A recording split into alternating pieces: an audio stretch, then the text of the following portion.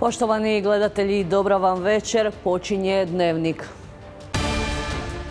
Vlada je danas donijela novu uredbu o utvrđivanju najviših maloprodajnih cijena naftnih derivata prema kojoj će od utorka cijena litre benzina biti manja za 11 lipa, a dizela za 2 lipe.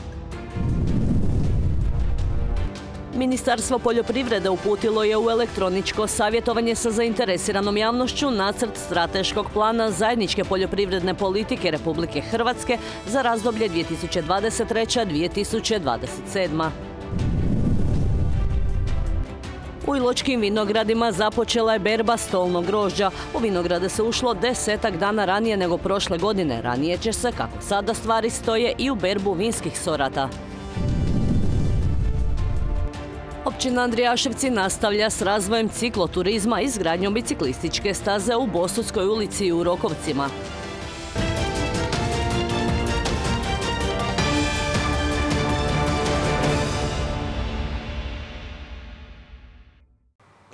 Vlada je danas donijela novu uredbu o utvrđivanju najviših maloprodajnih cijena naftnih derivata, prema kojoj će od utorka cijena litre benzina biti manja za 11 lipa, a dizela za 2 lipe. Cijene naftnih derivata određene na temelju te uredbe dodatno će se sniziti u odnosu na sada važeće, pa će od utorka litra benzina stajati 11 kuna i 19 lipa po litri, što je smanjenje za 11 lipa. Dizel 12 kuna i 12 lipa po litri, što je smanjenje za 2 lipe i plavi dizel 8 kuna i 49 lipa po litri, odnosno lipu manje.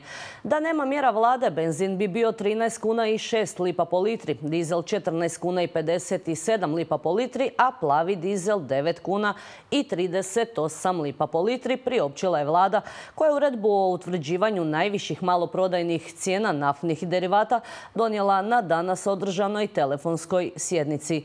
Do sadašnji način izračuna najviših cijena sukladno uredbi primjenjuje se i za sljedećih sedam dana, pa se najviša cijena utvrđuje prema formuli jednako za sva maloprodajna mjesta u Hrvatskoj, poručili su iz vlade. det.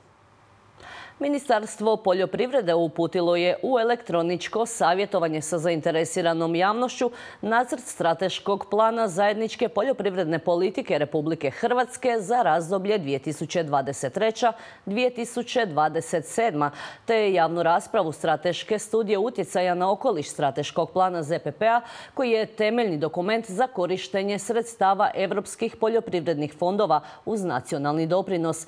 Pričamo ukupni iznos raspoloživi sredstava sredstava iznosi gotovo 3,8 milijardi eura za petogodišnje razdoblje, izvijestili su iz Ministarstva poljoprivrede. S obzirom na izazove s kojima se susreće i hrvatska poljoprivreda, vlada Republike Hrvatske je povećala stopu nacionalnog doprinosa s 15% na 20%, te na taj način povećala ukupnu omotnicu za hrvatsku poljoprivredu za 103,5 milijuna eura. Također, vlada je tijekom pregovora u sklopu paketa mjera za otpornost i oporavak za hrvatske poljoprivrednike osigurala dodatnih 201 milijun eura koji su stavljeni na raspolaganje kroz program ruralnog razvoja u ove dvije godine prijelaznog razdoblja 2022. i 2023. Priopćili su iz ministarstva te pozvali javnost da se aktivno uključi u elektroničko savjetovanje koje je otvoreno do 12. rujna ove godine. Kako bismo poručuju zajednički izradili kvalitetni strateški plan zajedničke poljoprivredne politike 2023-2027 kojim će se unaprijediti hrvatska poljoprivredna proizvodnja. O poljoprivredi i u nastavku dnevnika u Iločkim vinogradima započela je berba stolnog grožđa. U vinograde se ušlo desetak dana ranije nego prošle godine, a ranije će se, kako sada stvari stoje, i u berbu vinskih sorata. U vinogradu je radno od ranih jutarnjih sati. U ovom u vlasništvu najvećeg iločkog proizvođača vina u tijeku je berba stolnog grožđa. Sorta već provjerena. Pa uglavnom prevladavaju znači kardinal, plemenka bijela, muškat hamburg i sad ima još od Viktorije, Black Magica i tako tih nekih manje poznatih stolnih sorti.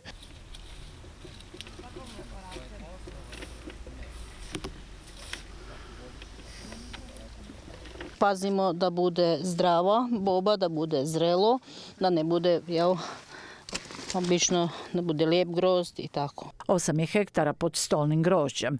Berba je tek počela, ranije nego dosadašnjih godina. Inače smo kretali iza Velike gospe, tako rano još nismo krenuli sa biranjem. Da bi... Desetak dana ranije nego lane. Skidamo po potrebi, ne skida se svaki, znači koja je potreba toliko se skine, znači toliko se obere. A strsa ga skidaju iskusne djelatnice. Mirjana već 34 godine, Željka pak 14 godina dnevno ga uberu i do 300 kg. Grođe je slatko, zdravo, fino ukusno. Kada se krene ujutro u berbu? Pa ujutro u pola šest, pet, pola šest, tako, zavisi od vremena. I koliko se dugo bere?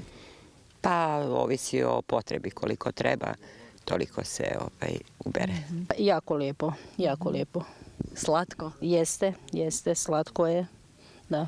Razlika između crnog i bijelog?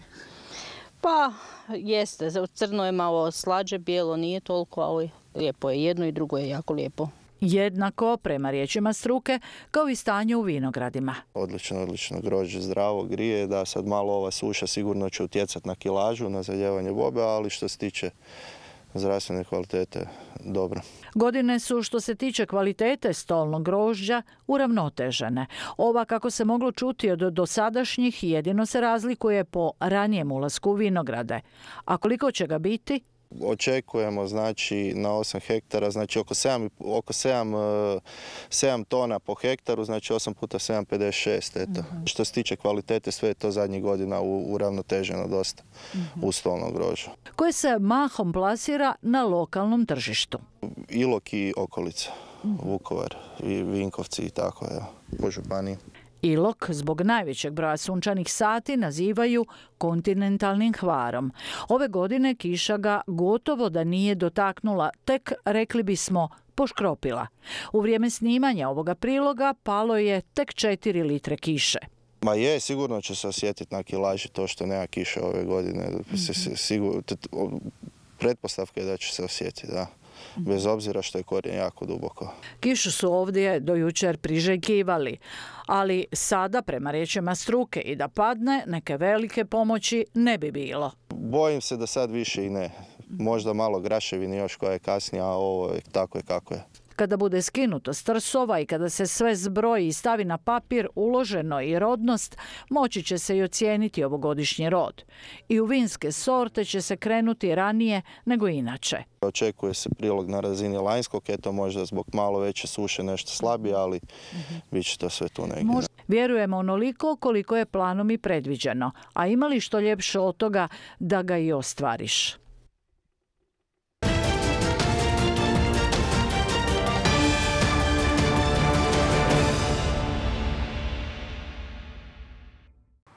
Korona i dalje ne miruje. U posljednjih 24 sata u Hrvatskoj zaraza koronavirusom potvrđena je kod 1215 osoba. Izvjesio je danas Nacionalni stožer civilne zaštite.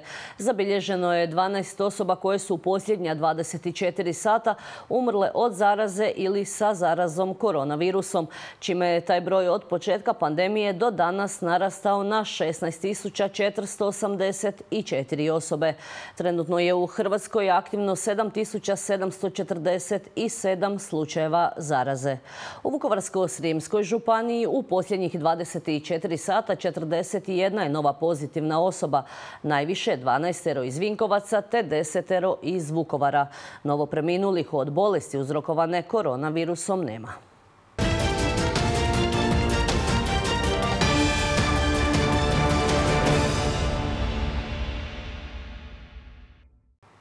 U rujnu 2016. godine završena je i svečano otvorena biciklistička staza u općini Andrijaševci. Riječ je o moderno uređenoj stazi na potezu Rokovci-Vinkovci u duljini od 3 km, vrijednosti 2,5 milijuna kuna. Općina Andrijaševci nastavlja s razvojem cikloturizma i izgradnjom biciklističke staze u Bosuskoj ulici u Rokovcima. Početkom ovoga tjedna općina Andrijaševci je potpisala ugovor s lokalnom građevinskom tvrtkom koja će raditi na izgradnji nove biciklističke staze. Ugovor za izgradnju biciklističke staze u Bosudskoj ulici dužina je nešto manje od kilometar, 950 metara. Vrijednost radova je 760 tisuća kuna. Rok izvođenja je 70 kalendarskih dana, tako da relativno brzo ćemo imati uređenu sigurnu biciklističku stazu kroz cijeli potez Bosudske ulice. Ovaj projekt s ciljem sigurnijeg prometovanja svih sudionika u prometu financiran je sredstvima Hrvatskih voda, Županijske uprave za ceste i općine Andrijaševci, koja u financiranju projekta sudjeluje sa svega 10% sredstava. Zašto baš u Bosudskoj ulici? Pa zato što su gotovi radovi na uređenju prve faze uređenja obale u Bosudskoj ulici. To smo čekali da jednostavno prirodno dođe do slijeganja materijala kako bi imali kvalitetnu zbijenost podloge. Tamo imamo dosta lošu pješačku stazu i kako bi na siguran način sudionike bicikliste iz prometa izmakli, e, odlučili smo na izgradnju biciklističke staze. To je već druga u našoj, u našoj općini. A prva je dobro poznata kako Rogovčanima i Andrijaševčanima, tako i Vinkovčanima. Naime, moderno uređena biciklistička staza prema Vinkovcima izgrađena je i u promet puštena prije šest godina. Opremljena je javnom rasvjetom, klupama, koševima, a izgrađena je tek uz jednu od najprometnijih cesta u Županiji, potezu Vinkovci-Rokovci. Biciklistička staza koja se nalazi unutar operativnog plana razvoja cikloturizma Vukovarsko-Srijemske županije duljine je 3 km kilometra vrijednosti 2,5 milijuna kuna, od kojih je milijun i pol financirano iz općinske blagajne. Imamo u planu prema Cerni, imamo projektnu dokumentaciju i čekamo natječaj gdje možemo kandidirati. Sve izgrađene i one biciklističke staze koje će tek u izgradnju nalazit će se na ruti Srijem koja povezuje južno područje Vukovarsko-Srijemske županije sa sjeveroistočnim dijelom. Ruta se nadovezuje na postojeću međunarodnu Dunavsku biciklističku rutu koja je dio puta Eurovelo 6. Izgradnjom biciklističke staze koja je napravljena prema Vinkovcima vidjeli smo da je to pun pogodak, da je sve više sudionika koji se žele baviti e, cikloturizmom i na takav način razvijamo infrastrukturu kako bi mogli ponuditi što kvalitetniju uslugu uz našu turističku brodicu i smještajne kapacitete koji su planirani za budućnost. Sva ova ulaganja rade se s ciljem obogaćenja turističke ponude, od smještenih kapaciteta do razvoja cikloturizma. Preduvjete za razvoj u turističkom smjeru stanovnici ove općine već imaju. Pred nama je svetkovina uznesenja Blažene Djevice Marije. Veliki broj vjernika hodočasit će u Marijanska svetišta u Vukovarsko-Srijemskoj županiji, u Onogospe na Vodici u Ilači i Šumanovcima u Gunji i u Osječko-Baranskoj županiji u Aljmašu i Dragotinu. Kao i svake godine proslava svetkovine uznesenja Blažene Djevice Marije započela je trodnevnom pripravom.